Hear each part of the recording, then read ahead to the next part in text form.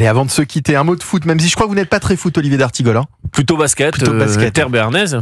Gilles, Gilles Boutin Euh, plutôt rugby. Plutôt rugby. Bon, bah écoutez, on va pas réussir à vous mettre d'accord ce soir. Ce soir, c'est le retour de Kylian Mbappé qui va jouer son premier match avec sa nouvelle équipe, le Real Madrid.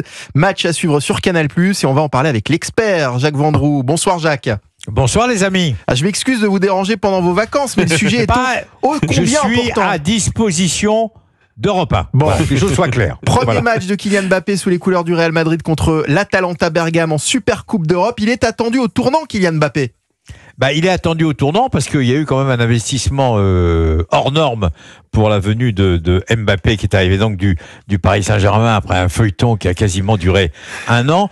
Tout le monde attend Mbappé, mais on attend Mbappé, on attend aussi euh, euh, tous les joueurs qui jouent dans cette équipe du du Real Madrid, que ce soit Vinicius, que ce soit Bellingham, que ce soit Valverde, que ce soit Modric. On attend bien sûr que on n'attend pas que de Mbappé, on attend qu'il y ait une certaine forme de cohésion. Alors ce qui est très important en ce qui concerne la, l'avenue de, de Mbappé au Real, c'est qu'il a depuis il a pas fait un match de football sérieux depuis le 9 juillet, Mmh. le jour de l'élimination de l'équipe de France de football contre l'Espagne dans dans l'Euro. Et il s'est entraîné depuis le 9 juillet. Il s'est entraîné d'abord seul avec euh, un staff technique, etc d'une grande intensité. Après, il a pris le, il a re- repris l'entraînement collectif. Et moi, je peux vous dire qu'il sera prêt. Et d'ailleurs, Ancelotti l'a dit à plusieurs reprises. Il, se- il sera prêt et il sera bon. Et je vais vous raconter une anecdote pour conclure.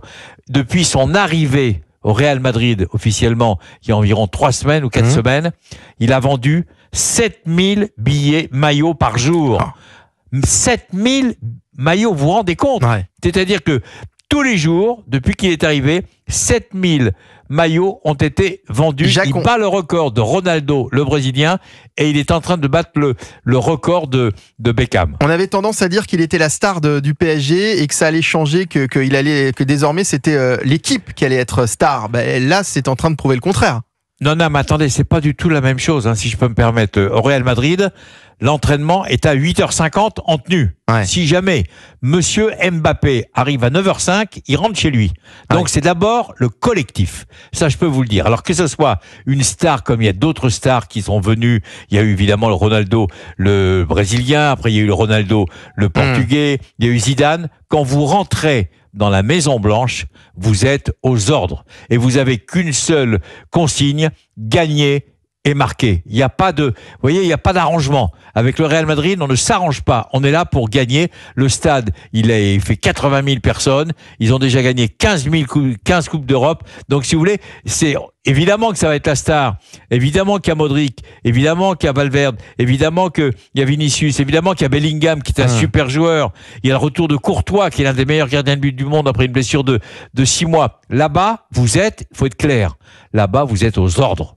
C'est comme ça. Et c'est pas. Et, et quand je parle de l'anecdote, ça s'est passé exactement dans d'autres clubs, notamment au Bayern. Hum.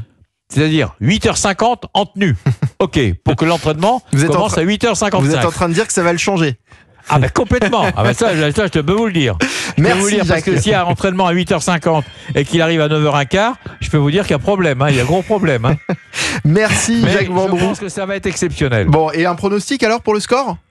Je pense qu'ils vont battre euh, l'Atalanta Bergame, qui est une belle équipe hein, quand même, et qui mérite aussi. L'Atalanta Bergame qui a gagné un peu à la surprise générale la Ligue Europa. Et je rappelle que le PSG, le, le- le PSG non, euh, le Real a battu, euh, a remporté la Ligue des Champions. Mais ça va être superbe, croyez-moi. Merci à vous, merci Jacques Vendroux.